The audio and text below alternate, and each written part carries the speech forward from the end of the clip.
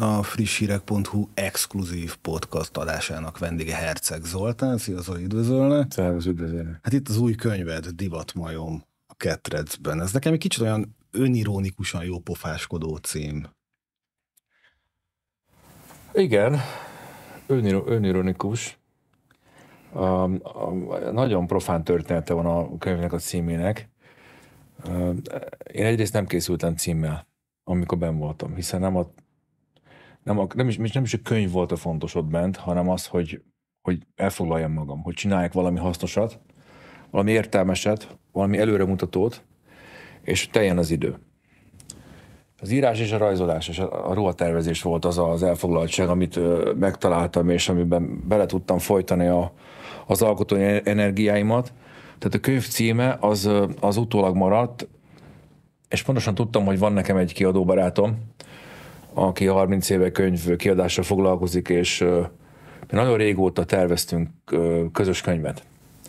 És azt mondta nekem a Zsolti pár évvel ezelőtt, hogy ez különös érdekes történet, mert most, hogy megbeszéltük a Zsoltival, fájópontként emlékszünk rá mindenkent, hogy nekem nincsen sztori. Hát nem mondom, Zsolti, nekem, nekem eszemen sok sztori van. Tehát én, én az elmúlt 25 évben, sőt, ha hozzáveszem a, a közgázos éveket, a középiskolit azt még nem venném hozzá, de elmúlt 30 évben nekem egy elképesztő hihetetlen sztoriaim vannak, de hát Zolika, mindenkinek van, mindenkinek van sztoria. És akkor ez a Herceg Mesztelen című könyv, ez nem, nem jött létre. Ennek az lett volna a címe. Ez zseniális cím amúgy. Ott szintén csak egy nagyon őszinte önvallomásra készültem, mert minek írnék könyvet, ha nem az igazat írom le. Vagy nem a valóságot, ami történt, úgy, ahogy történt. De a Herceg Mesztelen az valahogy nem stimmelt most ehhez a könyvhez azért, mert ez a könyv konkrétan pontosan erről a fél évről szól, október 21-től április 20-áig. És a Herceg Mesztelen, ha lesz egyszer ilyen könyv, nincsenek könyvírói babéreim, meg írói babéreim, nehogy arra gondoljon valaki, én nem lettem ettől író, mert már kapom a kritikákat, meg a savazást, hogy íróra képzelem magam, nem képzelem magam írónak, de írtam egy könyvet. Illetve írtam egy 400 oldalas kéziratot, és abból Illés Robert csodálatos munkájával, szerkesztésével lett egy könyv. De a Hercegmesztelen az terv szerint az egész sztorit bemutatja, az egész 51 évet. Úgy, hogy van. Ha az emberek kíváncsiak rá, van erre fogadókészség, akkor lesz ilyen könyv, ha nem, akkor nem. Tehát ezt a címet elvetettük ehhez a könyvhöz. És akkor agyalgattunk, agyalgattunk, ötleteltünk a Zsolti, hogy mi legyen. És egyszerűen csak nekem, én nem tudom, hogy ki, kiugrott a számon, ez a, ez a kreatív elmének a, a tulajdonsága, hogy így, hogy így kibögtem, hogy, hogy, hogy, hogy akár, akár akkor legyen, legyen akkor egy divat majd a kettőzben. Ez, ez kibukott belőlem, ez nem volt szándékos, nem volt tervezet, és annyira tetszett, az, én nem is gondoltam komolyan ezt. Mert sose voltam divatmajom a szónak abban az értelmében, hogy ezt, hogy ezt használjuk. A divatmajom az, az nekem egy pejoratív jelző. Na, én azért gondoltam, hogy ezt a jelzőt bent aggathatták rád. Meglepődtem nem. most, hogy ezt így mondtad, mert ugye nem, nem. beszéltük át a kérdéseket.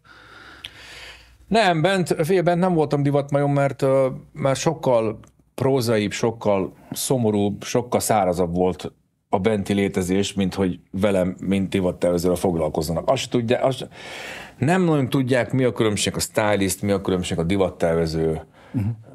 között. A rab-rab. A különbség az, hogy mivel vagy bent. Miben vagy bent bátyja?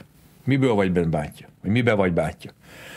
Mondod, hogy embercsempészet, költségverési csalás, kábítószer, erőszakos bűncselekmény. Perofiliát nem mondod, mert akkor nagyon rosszul jársz. Azt nagyon nem szeretik ott bent, érthető okokból. Hát ott ez alapján van, van a szelekció. Nem a kinti polgári foglalkozás alap senkit nem érdekel. Én különleges helyet töltöttem be, mert ismert arc vagyok valamennyire, de nem voltam divatmajom bent, mert mert amit rólam gondoltak, vagy feltételeztek az emberek, az nagyon hamar kiderült, hogy nem úgy van, mert egy őszinte, egyszerű, ugyanolyan csávót láttak, mint ők, aki mondjuk iskolázottabb, műveltebb, tájékozottabb, határozottabb elképzelésen a világról, de én nem voltam ott kivagyi, én nem voltam ott fellengző. És ez nem hátrány? Bent? Hát, hogyha műveltebb vagy iskolázott. Hát, ha nem érezteted, hogyha, hogyha tudsz ugyanolyan ember maradni, mint ők, és megtalálni a hangot, akkor az a túlélés záloga. Tehát, ha te elkezdesz hőzöngeni ebbe a közegbe, az semmiképpen nem visz előre. Az visz előre, vagy nem visz hátra, hogyha ember maradsz, és szót értesz azokkal, akikkel együtt fogsz élni. Ki tudja mennyi ideig. Uh-huh. És azt gyorsan meg kell tanulni. Nem, mintha nekem valaha az életben lett volna bajom azzal, hogy az egyszerű emberekkel, a vidéki emberekkel szólt értsek, hisz én magam is egy egyszerű vidéki ember vagyok. Tehát én szerencsről jöttem, én, én holnap hazamegyek szerencsre, én, én, én voltam nagyképű, voltam beképzelt, voltam elszállt, voltam egós, voltam narcisztikus. Lehet, hogy vagyok is. De beképzelt ebbe a szempontból, hogy, én, hogy elfejtettem, hogy honnan jövök, ez soha nem volt. És mindig, mindig azon a szinten beszéltem mindenkivel, amilyen szinten kellett ahhoz, hogy ez egy tartalmas, értelmes kommunikáció legyen, még akkor is, ha mondjuk egy, egy fogvatartott társam megkérdezte a szomszéd sétálóból, ha már itt tartunk, a fogdás sétálóban, ahol egy, egyedül volt, és történetesen én is egyedül voltam hosszú sétálóban, hogy mibe vagyok bent. Bátya. És akkor mondom, hogy politikai vagyok. Szerintem. És az mit jelent? Hát na azt jelenti, hogy, hogy olyan dolgokat mondtam, tettem, ami nem tetszett a hatalomnak, a kormánynak. Adott esetben. És én az ellenzék, mondjuk, hogy, mondjuk, hogy ellenzéki voltam, hogy harmadik utas, megkockáztattam ezt a harmadik utasságot. Az micsoda? Hát mondom, tudod, mondom, tudod, van a kormány, meg az ellenzék. Mondom, tudod, mi az nem? Ellenzék. Hát ő nem, nem tudja. Mondom, kormány. Hát az, az a kormány, amivel az autóba, vagy hú, mondom, de messziről kell ezt kezdeni.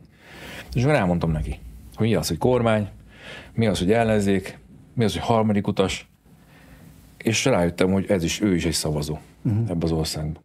És akkor nagyon elszomorodtam, és akkor nagyon nagyon átgondoltam az egész politikai aktivitásot, megmondok őszintén. Én ott elgondolkoztam, hogy van érte annak, amit én csináltam az elmúlt hat évben. Nagyon, nagyon őszintén mondom. Ha itt kell kezdeni. Én emlékszem arra, amikor, hát ugye mi azért sok tüntetésen vettünk együtt részt, és én azon az október, illetve hát ugye a tavalyi október 23-án én küldtem neked egy üzenetet Messengeren, amiben azt kérdeztem meg tőled, hogy mikor találkozunk ma. Ugye erre nem jött semmilyen válasz, és elkezdtem azon gondolkodni, hogy ennek mi lehet az oka, majd egy napra rá megtudtam, hogy mi történt. Hát elég, eléggé megviselt ez a dolog, és utána ki is írtam Facebookra, ebből nem is csinálok nyilvánvalóan titkot, hiszen utána lehet keresni, hogy az Zoli minden csak nem díler. Én ezért gondoltam, hogy ebben a dologban van valami fajta politikai szál. Sikamlós ez a téma, meg ez a kérdés mert nekem semmilyen bizonyosságom nincsen, semmilyen bizonyítékom nincsen, és én nem is akarok senkit vád, vádolni. Mert ennek ma már nincs túl sok jelentősége. Benne vagyok egy ilyen szégyenteljes, gyalázatos ügybe, és én nem, nekem nem tisztem firtatni az okokat, én belül tudom, sejtem, valószínűsítem, hogy mi történt, ami tény, hogy ami tény, hogy egy fél évig figyelt a titkosszolgálat, az, hogy hogy akadtam a látókörükbe, az egy külön kérdés, hogy miért. Ez megint egy külön kérdés, hogy ebből hogy lett büntetőügy, az megint egy harmadik kérdés. Ezek azok a kérdések, amik a, a nyomozókra, meg a bíróságra tartozik, meg az ügyészségre. De, de tény, hogy az elmúlt hat évben sok olyan dolgot tettem, ami, ne, ami nem tetszhet a regnáló hatalomnak. És az is tény, hogy volt nekem egy olyan mozgalmam, ami látszólag ö, ártalmatlan volt, és én nem is posztoltam arról többet, mint ami, a köz, mint ami nyilvánosságra tartozik. De hát, de hát ez, egy, ez egy baromi jó kitalált, nagyon hosszú távú, nagyon megalapozott, szerintem az egyetlen valós politikával foglalkozó mozgalom volt, ami én szerintem bolygónak a megmentése. Azért a bolygói, amin az ember él, amiből az ember él. És én nem úgy, nem úgy jóhajtottam megmenteni a bolygót, most se úgy jóhajtom, hogy kibányászok belőle mindent, elfüstölök belőle mindent, elégetek belőle mindent, eladok belőle mindent, és mindenből műanyag szemetet csinálok, meg mindenből pénzt csinálok, profitot a felső egy százaléknyi elitnek. Az én mozgalmam az ennek pont az ellenkezője volt, visszadni azt a természetnek, ami az övé, visszadni azt az embereknek, ha úgy tetszik, az ember, em, egyszerű embereknek, ami az övé. Emlékszel, a profit... tudatkoztunk erről? Nagyon sokat. Nagyon sokat. Nekem volt egy koherens, nagyon szépen kitalált, szépen felépített 25 éves elképzelésem, nem négy éves, nem egy éves, nem három hónapos, 25 éves koncepció, ami gyönyörű szépen fel volt építve, fiatalokra alapozva, nem a nyugdíjasokra, mert a nyugdíjasok nem tudják a jövőnket eldönteni, ne is ők döntsék el a ország sorsát, azzal együtt, hogy a legmélyebb tisztelet a nyugdíjasok meg, mert ők már letolták azt a 60, 70, 80 évet, amit mi még nem, úgyhogy nekünk csak járhat a szánk, de ők már tudják, hogy mi a pálya. Szüleimet imádom, nyugdíjasok, de akkor se gondolom azt, hogy a nyugdíjasoknak kell a jövőről dönteni, mint inkább a fiataloknak, akiknek a bőrére megy a játék. Tehát ez az én kék mozgalmam, bizony a fiatalokat célozta meg. Ez egy jövő alternatíva. Ez egy jövő alternatíva, szerintem az egyetlen, ami, Jó, ami Két dolog miatt kérdeztem rá egyébként erre a politikai vonalra, mert hogy nagyon sok olyan tüntetésen, amin jó magam is, ahogy említettem, részt vettem, hát így elhangzott az, hogy úristen, hát ki lehetne, aki egy ilyen, nem tudom, tömeg élére áll, hát azért sokszor elhangzott adott esetben a te neved, és én legalábbis a baráti körömben ez így elhangzott, illetve volt, az volt a miniszterelnökünknek egy olyan kinyilatkoztatása még a október 23-ai tüntetések előtt, hogy itt, amit a belvárosban vagy a fővárosban csinálnak a, a fiatalok, hát ezek csak ilyen, ilyen, ilyen lézengő drogosok.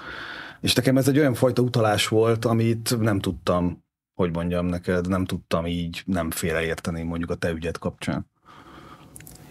Én nem tudom, mire gondolod a miniszterelnök úr, engem nem is érdekel, hogy mire gondol a miniszterelnök, az az ő dolga, hogy mire gondol. Az én dolgom az, hogy én mire gondolok, és én arra gondolok, hogy én alkalmatlan vagyok politikai vezetőnek, én nem bírom a nyomást, én nem bírom a stresszt, én nem vagyok a mai politikai rendszerhez illő karakter, tehát én igazmondó juhász vagyok, akinek megmondja, aki, aki megmondja az igazat, tehát betörik a fejét. Én az vagyok, én nem tudok hazudni, nem tudok kamuzni, nem vagyok kapzsi, nem vagyok mohó, nem vagyok milliárdos, nincs szükségem semmire gyakorlatilag a barátaimon, meg a emberi kapcsolataimon kívül, ami van nekem elég. Tehát semmilyen semmilyen ö, kritérium nem felel meg ahhoz, hogy én vezető legyek. Én nem csak akarok senkit se vezetni.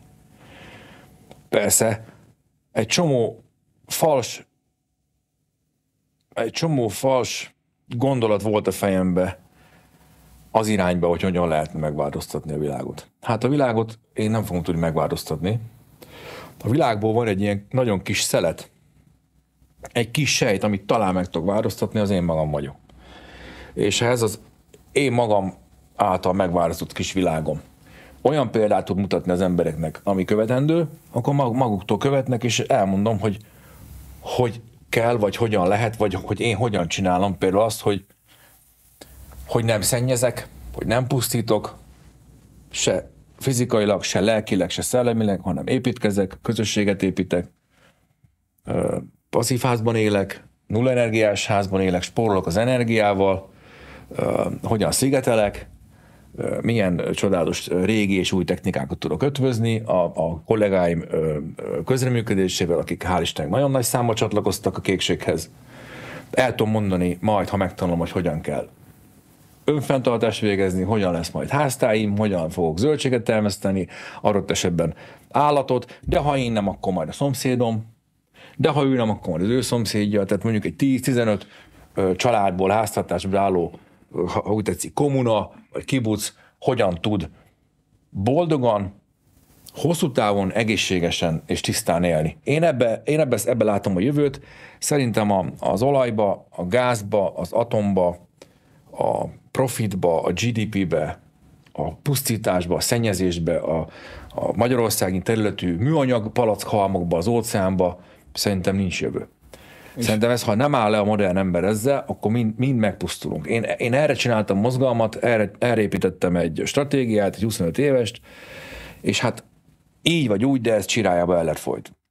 És ez a büntetés, ez úgymond teljesen visszavette ezt a mozgalmat? Vagy ezt folytatni fogod? Vagy ezt hogy képzeled? Hát ez úgy, úgy kell elképzelnem, hogy, hogy, hogy, hogy ez a mozgalom szövetkezeti modellre épült volna. Én szövetkezeteket, kék szövetkezeteket szerettem volna létrehozni, számtalan formába, amilyen formában csak szövetkezhet egyik ember, egyik építő ember a másik építő emberrel, egyik jó szándékú a másik jó szándékóval, egyik gondolkodó a másikkal, különböző hasznos, előremutató építő jellegű tevékenység. Ez lehet mezőgazdasági tevékenység. Mondok egy nagyon-nagyon profán példát. Pista bácsinak a faluhelyen van egy nagy kertje, van egy háza, de nincs már munkabírása, mert már idős, öreg, és örül, hogyha a torrácra ki tud menni egy cigit elszívni. Pistának, meg Juliskának, meg Budapesten van egy panellakás, és nem tud mit kezdeni magával, nincs munkája, nem veszik fel sehova, vagy elmegy külföldre, nyugatra, rothadó nyugatra dolgozni, vagy, vagy, vagy vegetál. Akkor, akkor a Pista meg Juliska lemegy Jóska bácsihoz vidékre, és azt mondja, hogy na, itt van az, az a fél hektár föld, akkor megpróbálok ezen mondjuk bio almát, vagy bioszőlőt, vagy paradicsomot, vagy paprikát termeszteni, szomszédba Bözsinének vannak szerszámai, kapá, rotációs kapá, nem tudom, és a, a, a, akár még vetőmag is, meg tudása, nóhója elmondja, hogy kell csinálni. És mondjuk a Budapesten a, a vendéglátós, akinek fancy étterem van a várba, azt mondja, hogy én bizony, ennyi meg ennyi bioparadicsomot, biopaprikát, ezért ezt én felvásárolok tőled. Ennyi meg ennyi pénzért. Magyarul kijön egy kis kék szövetkezet hat taggal, és ők ö, egy, egy, egy gazdasági tevékenységet kezdenek folytatni.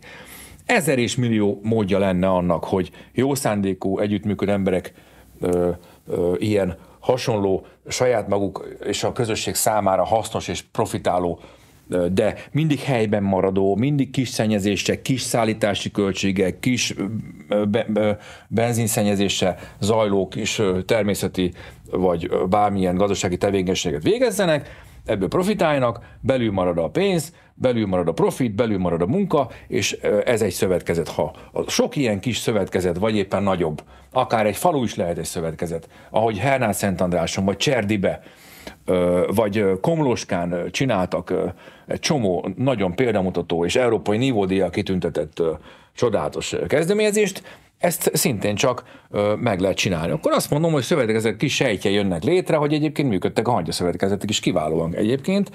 Az államot vettük ebből ki, és, és, a, és a gondoskodó emberek kezébe adtuk a saját sorsukat. Tehát önállóan tudnak gazdálkodni és pénzt keresni, és boldogulni.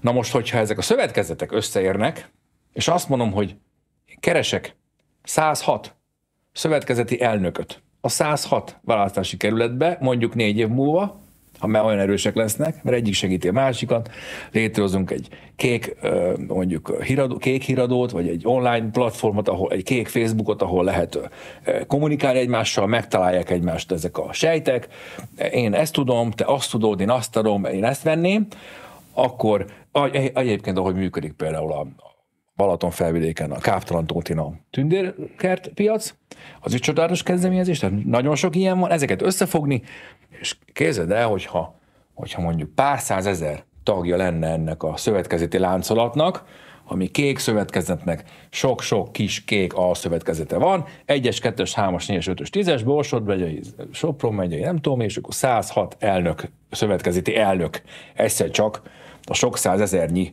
szövetkezeti tagnak azt mondja, hogy na, akkor indulok az országgyűlési választásokon, akkor van 106 jelöltünk, van, van alatt egy baromi nagy támogatottság, az összes szövetkezeti tag, aki eddig mozgalmár volt, az szavazó lesz, és halleluja, négy év alatt alulról, előről egy nagyon tiszta cél, egy nagyon tiszta szándék, egy nagyon tiszta ö, ö, ö, szövetség és közösség alapján létrejön egy új párt, egy új vezetés, Akkor... egy új ideológia, egy új filozófia, és ez, ha működik, ha jó a dolog, ha szeretik az emberek, lehet egy minta, ami kivezethet a válságból, kivezethet a, az értelmetlen Magyarországon senkinek ö, se érdekel. Tehát, hogy amit most a felvázoltál, Kivéve az tulajdonképpen emberek. megválaszolja a kérdésemet, hiszen Érted, hogy mire gondolok? Tehát, Én hogy Felcsuton is volt annó egy polgármester választás. Szerintem az emberek... Zéki polgármester kétszer ütött el egy osztrák turista. Szerintem az embereknek érdeke, érdeke az, hogy jól éljenek, tisztán éljenek,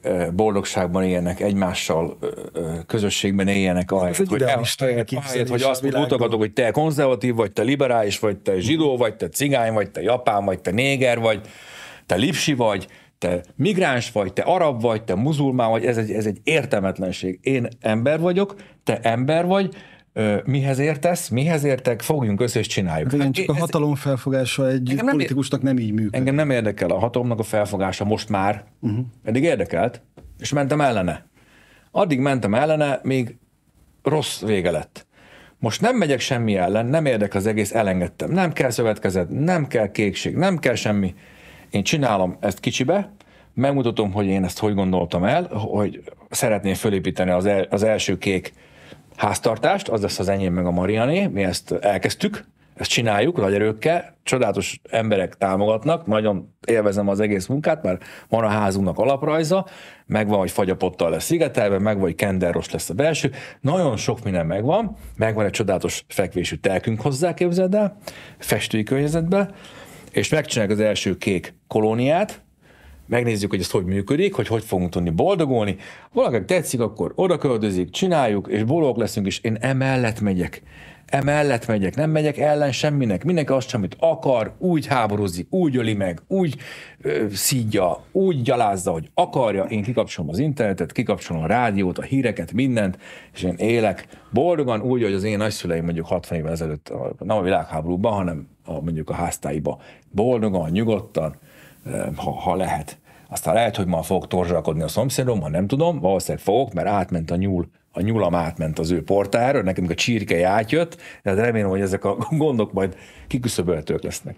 Régen sokat, sokat mondtam neked azt, hogy egy igazi Jedi lovag vagy, de mint hogyha egy ilyen nagyobb... Te hívtál Jedinek, igen. igen. nagyobb fokozatra kapcsoltál volna. Én azért gondolkodtam sokáig azon, hogy amikor bekerültél, hogy utána úgy fogsz kijönni, hogy dupla fokozatra kapcsolsz politikailag. Volt benned ilyen elképzelés? Vagy ezt hamar kiölték bent? Abban a pillanatban, amikor bekerültem a börtönbe, világosá vált, hogy amit csináltam, az tévút. Uh-huh. Nézd, én rájöttem, hogy, hogy, hogy, hogy, hogy olyan, hat, olyan hatalommal kerültem szembe, ami, ami mellett porszem vagy. És nem csak a nem csak a mozgalmi törekvéseim hullottak porrá, meg az egóm hullott porrá, hanem az összes ezzel kapcsolatos akaratom és szándékom porrá hullott. Most semmi szükségem erre, hogy én börtönbe töltsem az időmet. Semmi szükségem arra, hogy bárkit meg akarok bármilyen győzni, hogy ide szavazzon, meg oda szavazzon. Eleve nem látok semmilyen olyan politikai alternatívát ebben az országban, hogy szavazhatnék, sőt kézzel, de az első nap elnötöttem, hogy soha többet nem szavazok senkire, én nem megyek el szavazni, ha lesz szavazati jogom, ha nem, ha megvonják a, a, a közügyektől a jogolmait, ha nem, nem érdekel. Tehát nem, ér, nem érdekel. És ez Nekem ehhez az, á, á, nincs hoz, az egészhez közöm. Nincs, és, nincs és kedve, egy másodperc energiát ebbe beletenni. És ami veled történt, ez szerinted azért nem lehet üzenet másoknak is, hogy ne, ne nagyon ugráljatok, srácok? Én nem, én, az, az ugrálás az egészen más, mint a, mint a nagyon megfontoltan, nagyon ügyesen építkezni és együtt haladni egy nemes célért. Azt én nem mondom senkinek, hogy hagyja abba. Csak csinálja nagyon okosan, és közben, miközben miközben küzd egy nagy gépezettel szemben, közben azért, ha lehet, ha egyáltalán ez lehetséges, akkor semmilyen törvény ne szegjen meg, semmilyen módon, semmilyen szinten. És akkor van esélye talán, de hát attól még elütheti egy osztrák turista. Tehát én nem, én nem tudom, ha ezt, ezt nagyon okosan kétség, nagyon erősen, nem tudom, hogy, hogy van-e jövője az emberiségnek. Nem tudom, hogy, a, hogy a, ez az idealista hozzáállás, ami én vagyok, ez, ez, ez legyőzi-e valaha az emberi kapcsiságot, mogóságot, hatalomvágyat, és... Fizikálisan vagy lelkileg tör meg egy ilyen eset, egy ilyen fél év? Fizikailag nem tud megtörni, mert bár tilos az árkában a testedzés, és ezt még nem mondtam el sehol, de azt mondtam, hogy edzettünk, hát edzettünk, de hát két dolog van. Az egyik, hogy megrongálod az eszközt, a tárgyi eszközt megrongálod, mert hogyha a vödör, vödörrel edzel, ami tele van vízzel a felmosódőr, akkor leszakad a füle, és akkor mész fogdár. Tehát nem szabad. Uh-huh. A másik, hogy felkészülés, szökésre felkészülés. Tehát ha te gyúrsz, akkor csak azért jó, az semmi másik, mert a zöld meg akarod támadni.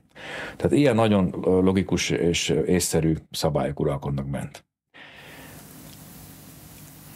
Van konditerem, de nem használhatod, mert nincs elég felügyelő, hogy, hogy elvigyen konditerembe. Tehát ez a van is, meg nincs is, lehet Illúzió. is, meg nem is. Hát egy olyan, egy olyan egy olyan büntetés végrehajtási rendszer működik, nem tudom, mondhatom, vagy nem, maximum majd nem kerül be az adásba, pont úgy működik, mint az egész ország. De a fekvőtámasszal, a fekvőtámasszal talán nem rongálom meg a padlót.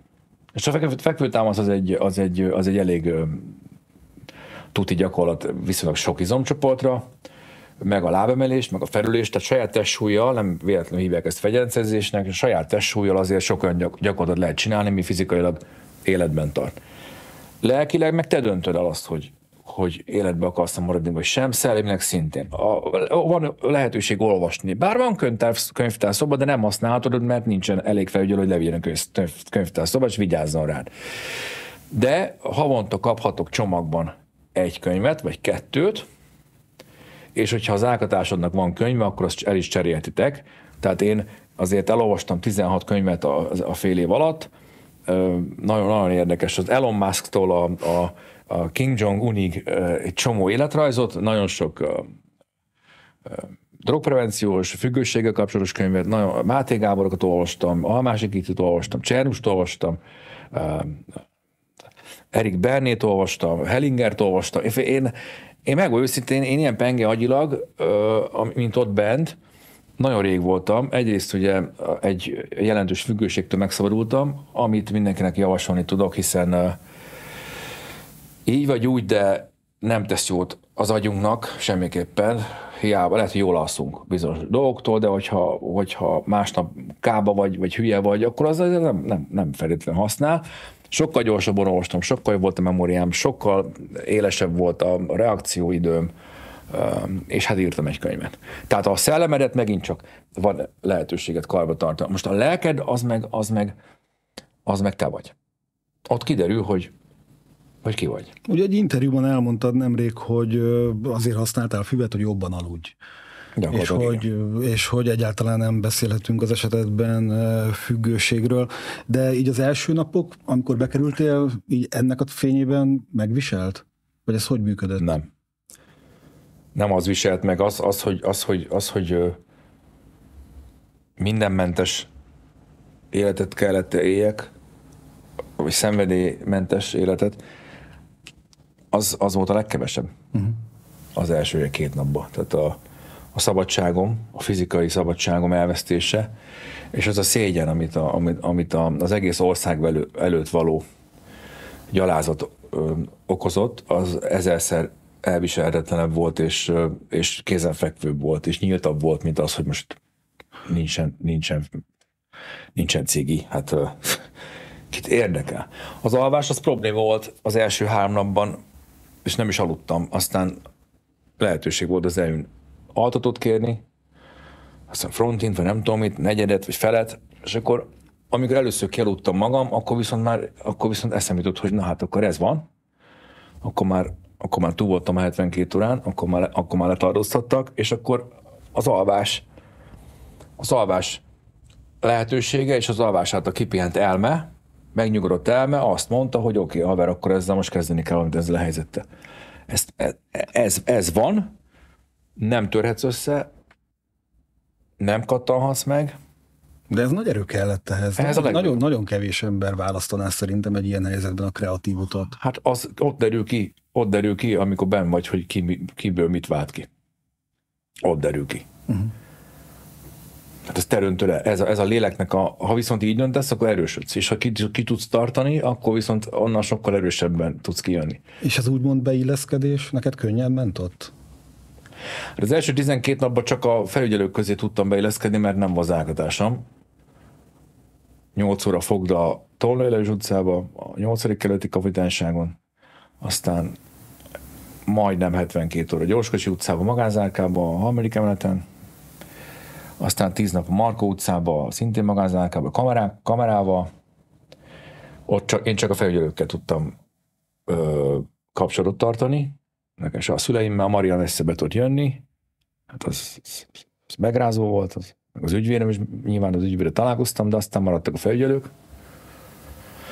Hát én hamar rájöttem, hogy ők is emberek. Tehát, hogy van jó fej, meg van rossz fej. Van frusztrált, meg van boldog.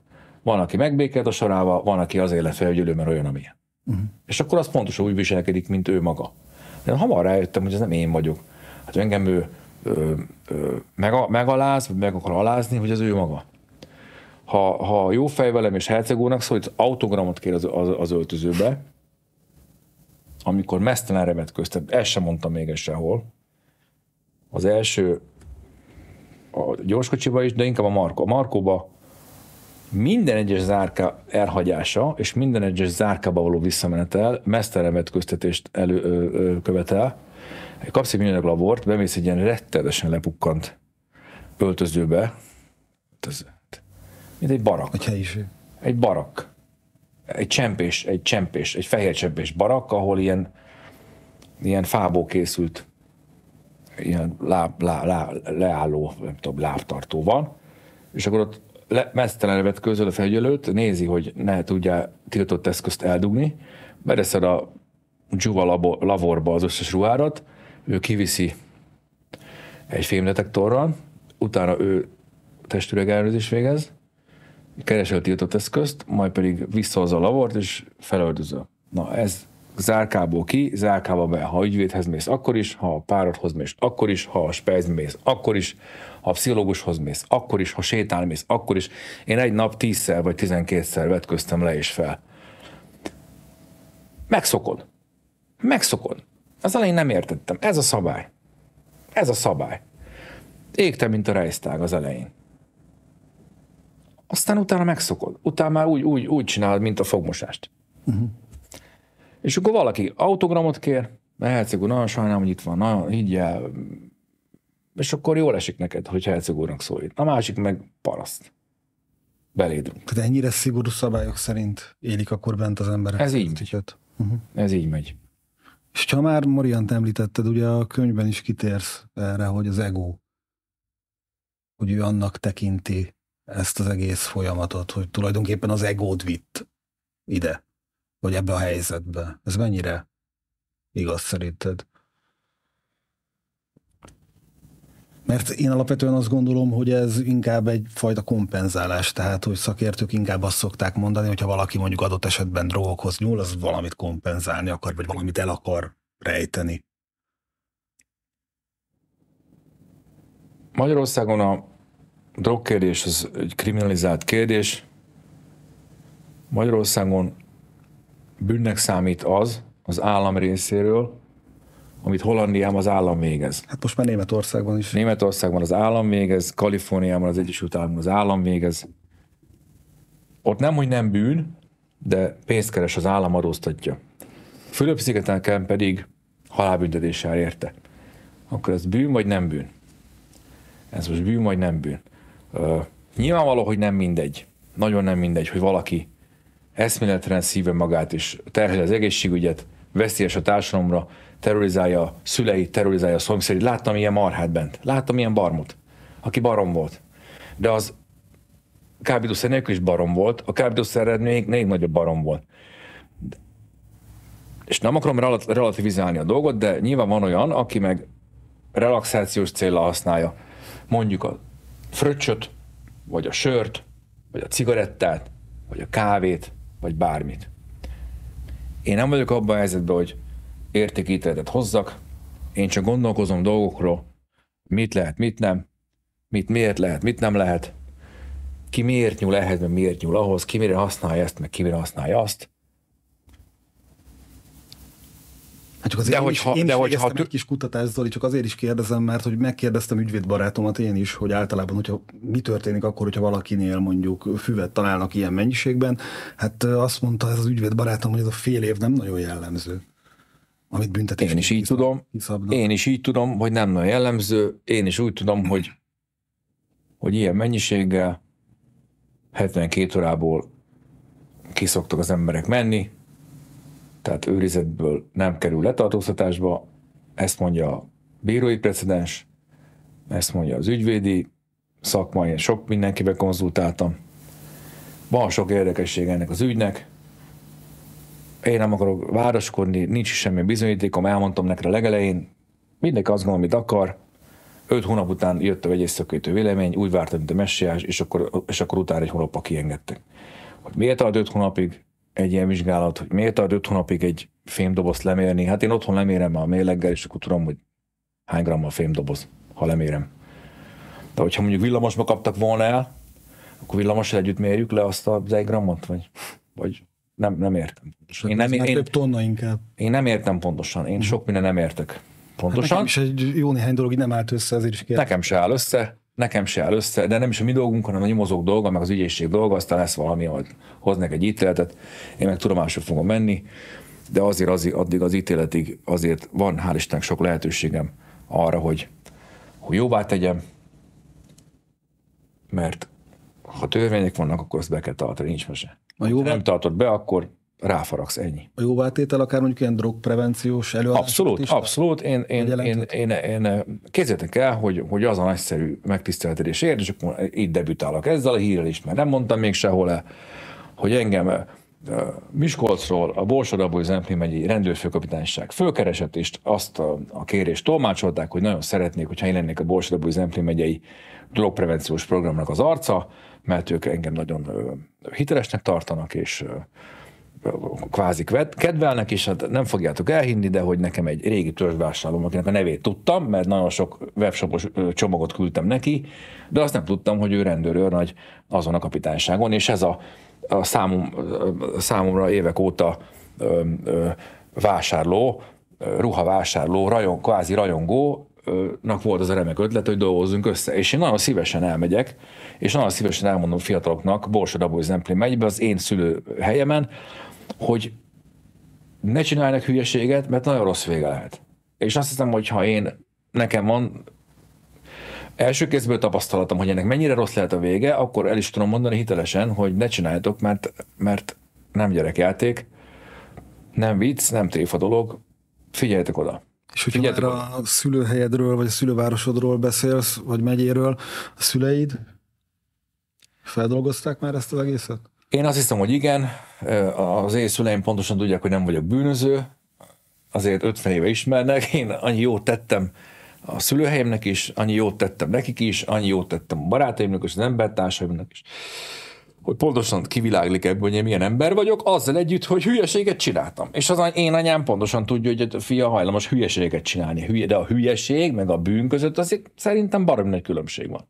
És tulajdonképpen azért leginkább a könyv miatt hívtalak amikor elkezdted ezt a könyvet írni, például jegyzetelhettél bent? Azt hiszem, hogy az legális volt, annál is inkább, mert a, az egyik vagy nevelőnő, vagy felügyelő, nem is tudom, hozott nekem papírokat. Az úgy néz ki, hogy kinyitják a tátikát, a herceg levele, levele jött, akkor kinyitják a tátikát, ahol a kaját adják be, az pont, mint a filmekbe.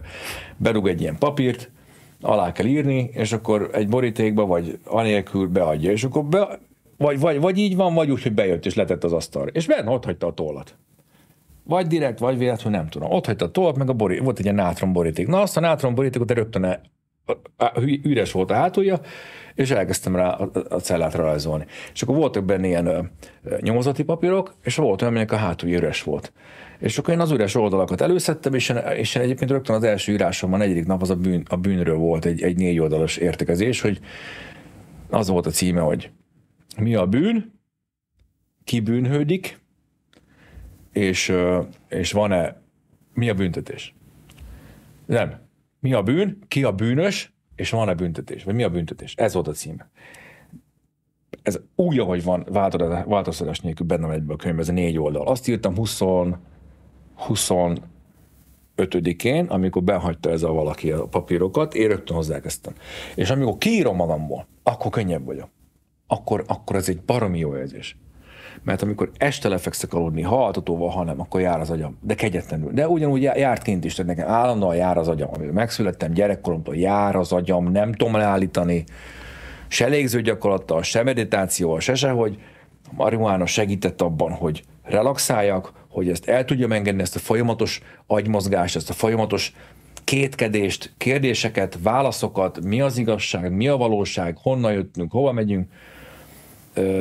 Itt nagyon jó terápia volt, amikor ezt ki tudtam magamból írni. És nyugodtabb lettem, és teljesebb lettem, és akkor azt mondtam, hogy jó, hát akkor, akkor most írni fogok. Mindent, ami van, mindent, ami jön, minden, amit tapasztalok, ami történik, amilyen, amilyen hatást gyakorol rám, hiszen, hiszen elfelejtem, hiszen nem fog tudni fél évvel később, ha kijövök, elkezdeni írni valamit, mert hol emlékszem arra sok mindenre. És én kezdett, hogy percről percre írtam, amikor, hát a Markóban, amikor tíz napig egyedül voltam, ott, ott reggeltől 8-10 órákat írtam naponta. Amikor átkerültem a venyigébe két másik emberhez, azok már nem hagyták, hogy írjak, mert azok duáltak, tévét néztek.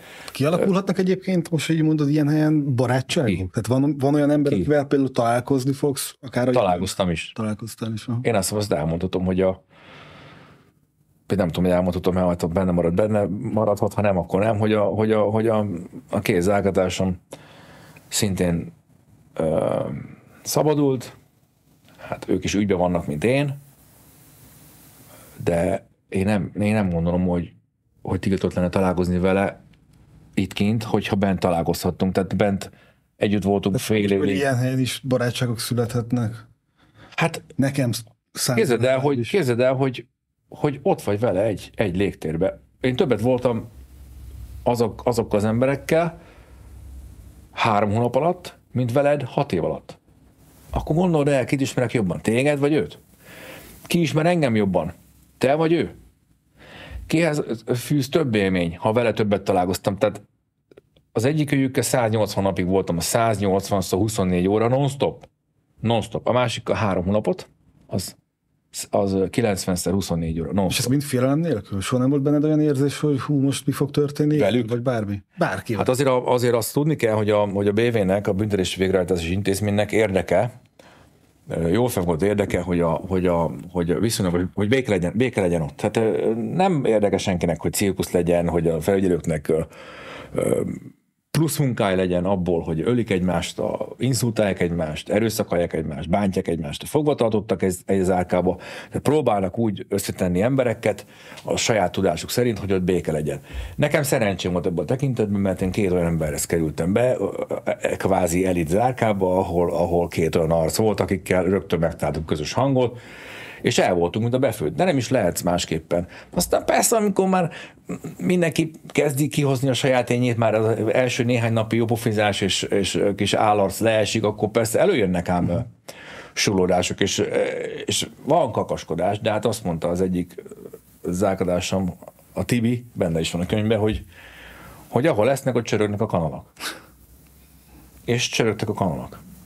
De nem, nem mehetsz tovább annál, mint amit mondjuk a Starbucksba látsz, amikor a Nagy Ervin meg az Árpattal így, így közel nézik egymást, mert ha annál közelebb mész, akkor az fogda. Uh-huh. És az nem babra megy. Meg kell oldani. És ott azt, azt a megoldást alkalmaztam, amikor ilyen szituáció volt, vörös fejjel, 200-as púzussal, vagy szívveréssel, vagy vérnyomással, és pattanásig feszült hangulatban, hogy azt mondtam, hogy gyere haver, ölej meg, mert sem értem. És akkor megöleltük egymást, és ment tovább a béke. Tehát ez, a, ez az, ami működik, és ott benne is működik. Számtalan ilyen sztori le van írva a könyv. Én speciál viszonylag kevés kormányzati portál és követői véleményeket olvasok, de ugye amikor például kijöttél és mondjuk megnézted az üzenőfalad a Facebookon vagy bárhol, arra azt kaptad, amire számítottál? Na, Mármint az... úgy értem, hogy akár szeretetre, mert én nagyon sokat olvastam ezután is, ami előtt így, hát hogy mondjam, fölfogtam volna, hogy veled mi történt valójában, meg azután is, és én azt vettem észre, hogy óriási szeretet vesz körbe az emberek hát irányából. Az, az én platformjaim, az én ismerősi köröm, az én támogatói, vagy, vagy szélesebb ismertségből vett közönségem, azok maximálisan mellettem vannak, mellettem voltak, támogatnak, törődnek, én olyan mennyiségű szeretetet, figyelmet, törődést, mint amit tőlük azóta kapok, vagy amikor kijöttem a háziőrizetbe, és megcsináltam az első support pólót, amit először terveztem bent, és ugye rögtön meg is alkottam azt a kollekciót, olyan gyorsan szétkapkodták, és nem, olyan szinten, szinten nem is volt, aki csak pénzzel jött. Tehát hoztak egy, egy, egy üdítőitalt, egy ö, idős nénik süteményt, ö, savanyúságot, zöldséget, gyümölcsöt, kaját, főtételt, én annyi mindent kaptam, hogy nem tudtam hova tenni. Tehát volt, tele volt a lakás az ajándékokkal. Aztán később, amikor ki tudtam menni otthonról, akkor az étteremben nem fogadtak el pénzt. A boltban nem fogadtak el pénzt. A, a postán előrengettek a sorba. A, a megálltak az utcán autogramért. Tehát annyira sok ember tiszteletét vívtam ki egy ilyen gyalázatos történettel, és ennek azt hiszem, hogy az egyetlen oka az lehet, hogy önmagukra ismertek. Abban, hogy mindannyian bűnösök vagyunk, ha már bűnről volt szó, bűnösök, kisebb-nagyobb bűnünk van, és itt van egy csávó, aki megbűnhődött, és bevállalta. És nem úgy jött ki, hogy mindenkit elküldött súnyi, úgy jött, úgy jött ki, hogy hát a, a, nem azért, amivel gyanúsítanak, de másért rászolgáltam erre a büntetésre, mert bizony viselkedtem szemétláda módon. És megsértettem olyan törvényeket fönt, amit a földi igazságszolgáltatás nem büntet, de karma figyel, és mindenki azt kapja, amit megérdemel. Ezért voltam én bent, és ezt láthatják az emberek, hogy bevállalta a csávó, megbűnhődött, beismerte, amit be kellett, és felőről, feláll és előről kezdi. Tehát akkor Vagy több, tehát több O1G pólóra akkor ne számítsunk tőled. Több O1G pólóra ne számítsatok. Én tényleg meg kell, hogy szűnjek ellene menni bárminek. Legyen az egy, legyen az egy negatív beszóló komment, legyen az egy konzervatív, keresztény orgánumnak a megalázó, dehonestáló cikke, ha engem öltöztetőnek nevez, akkor öltözte, öltöztetőnek nevez. Engem nem érdekel ez. Tehát, hogyha tehát így akar engem bántani, én csak mosolygok fél év börtön után. Mosolygok. Én nem akarok semmi ellen menni. Ha valaki ilyen politikát csinál, akkor ezt csinálja. Az emberek rászavaznak, akkor rászavaznak. Nem érdek, nem... Eddig is kár volt, András. Eddig is kár volt. Ami fontos, hogy valami mellett menjél, ami előre, ami támogat, amiben, amivel építkezni tudsz, haladni tudsz, amivel több leszel, nem kevesebb. Mert ez a hat éves civil aktivista program, munka, politizálás, ez csak kivett belőle. Azzal együtt, hogy baromi sok okos, értelmes embert hozott az utamba, többek közt téged. Tehát nagyon sok, nagyon sok, nagyon sok hasznos tisztességes, baromi okos, értelmes emberre találkoztam. Egyébként érdekes módon ezeknek a többsége jobboldali konzervatív értékrendű, nem liberális. Liberálisokkal én nem is tudom, hogy ők hol vannak, meg kik ők, de én, én, én a köteles Lacitól kezdve a, a, a, a a, Vavevá, a Vavevába is, meg a, ott, ott, is, ott is gyakorlatilag én voltam az egyetlen liberális, mindenki jobboldali volt. Én nem tudom, ezek, ezek teljesen oké, okay, normális csáhú, jó gondolkodásúak. Én tőlem kaptak valami liberálisabbat, mint ők. Én megkaptam tőlük olyan konzervatív értéket, ami nekem hiányzott. De hogy mi együtt tudtunk dolgozni, és mi együtt igen, ez egy fontos mi együtt, mi együtt alkottunk, és egymást szeretve mentünk elő, és köztünk eltűntek ezek a címkék. Ezek a címkék, ami csak arra jó, hogy megosszon. Sokszor említik a karriereddel kapcsolatban ezt a nem tudom miért nevezik bukásnak ezt az amerikai próbálkozásodat, nem tudom, hogy miért bukás az, hogyha valaki Michael Madzennel tud például együtt működni, vagy együtt dolgozni, de hogy abból is, amikor hazajöttél, újra megmutattad, hogy van utad, és most is úgy érzem, hogy ezt így ki fogod járni. Ezt az új Herceg Zoltán. Mondhatom azt, hogy új? Vagy megváltozott? Hát, én még nem tudom, hogy új-e, az majd kiderül az idővel, hogy ez tud-e tartós lenni, mert amikor az ember kijön az elvonó kuráról, a tisztító kuráról, akkor belekerül megint ebbe a, ebbe a szennyes világba. És ebbe a szennyes világba, ahol átvernek, ahol hülyének néznek, ahol hazudnak neked folyamatosan, ahol, ahol a zaj, a zajkeltés megy, a dezinformálás megy, a félrebeszélés megy, a taposás megy, ez a kíméletlen emberen átlépő verseny megy, ez, ez ebbe olyan, olyan, olyannyira nagyon nehéz megőrizni a, a, a tisztaságot, a csendet, a békét, a lelki békét. Hát indulatos leszek, ha csak kilépek a házból. És én utálom ezt a világot, és imádtam azt bent, hogy nyugi volt. Uh-huh. Kiszámítható volt, csend volt, voltak nagyon korrekt szabályok, korrekt, nem korrekt, de voltak szabályok, és, és olyan volt, de lassú volt iszonyatosan szerettem, hogy lassú. És jó néhány barátod olvasott föl tulajdonképpen a könyvből részleteket, mielőtt megjelent volna a könyv, amit talán most így modern szóval, hogy mondjam neked, marketing kampánynak neveznének. Én ezt egy nagyon jó húzásnak tartottam. Marketing kampánynak nevezhetjük, miután marketing szakirányú végeztem a közgázegyetemen, azért valamennyit konyítok hozzá. Egyébként nem feltétlenül az én ötletem volt, hanem, hanem van nekem egy kiadó, a kiadónak van egy marketingese, vagy külsős munkatárs, ő mondta, hogy kellene kis videók. Az első ötlet az volt, hogy játsszuk el a jeleneteket, de hát ugye eljátszani a jeleneteket, ö, hát az gigantikus pénzbe kerül, mert most vagy minőségét csinálunk, tehát HBO szintet, Igen. Vagy semmit. Mert a, gagyi hülyés, hülyeséghez se a, a nagy nevek nem adják a nevüket, se én nem adom a nevemet. Tehát akkor a, a, jelenetek eljátszásából az lehet, hogy felolvassunk a könyvből ö, húzós sztorikat. Ebből mi is mutatunk majd meg egyébként És akkor, részleteket. és akkor, hát ugye, ha én olvasom fel, az lehet, hogy nem olyan profi, mint hogy olyanok olvassák fel, akiknek ez a szakmájuk, ez a hivatásuk, és akkor én felhívtam a barátaimat, az ismerőseimet, Magyarország vezető színészét, akik egyébként nem egyszer álltak a színpadon is a kifutón, a kifutón, mint modellek, mint vizuális segédeszközök, makettek szerepeltek, itt pedig, itt pedig a, a, a színészi munkáikat kellett kellő beleéléssel és alázattal és profizmussal felolvasni kis részleteket, és akkor a Nagy Ervin, a Szabó Győző, Szabó Simon, a Janklovics Peti, a Lengyel Tamás, Jams lelök egy-két poén, a Hujber Feri, Csupa nagy név. a Simon Kornél, és még nem tudom hány, a Nagy Sándor, fie, mindenki azonnal elsőre elvállalta, és nagyon hálás vagyok nekik, és, és le a kalappal, hogy nem félnek, tiszta szándékkal segítenek, támogatnak.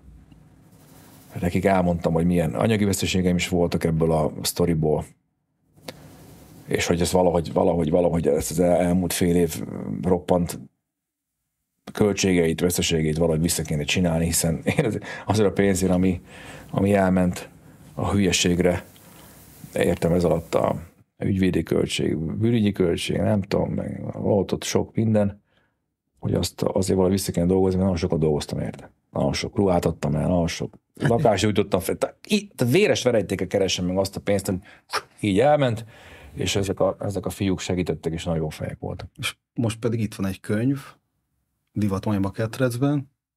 Zoli, köszönöm szépen, hogy kicsit beengedtél minket. kíváncsiak a véleményedre. Most az jön, hogy a, hogy a közönség ítéletet mond arról, hogy milyen lett a könyv, és ha tetszik, akkor meg kell venni, ha nem tetszik, akkor meg mást kell venni, de azért olvasni kell. Tehát olvashatok sokat, mert az nagyon, so, nagyon fontos, és viselkedjetek jól, mert az is nagyon fontos. Hát Zoli, köszönöm szépen, hogy itt voltál. A nézőknek köszönjük, hogy velünk tartottak. Ne felejtjék, hogy megtalálnak minket a YouTube-on, a TikTokon és egyéb platformokon, például a Facebookon is. Ha tetszett az adás, akkor nyugodtan kommenteljék és nyugodtan osszák meg. Köszönjük szépen, hogy itt voltak velünk.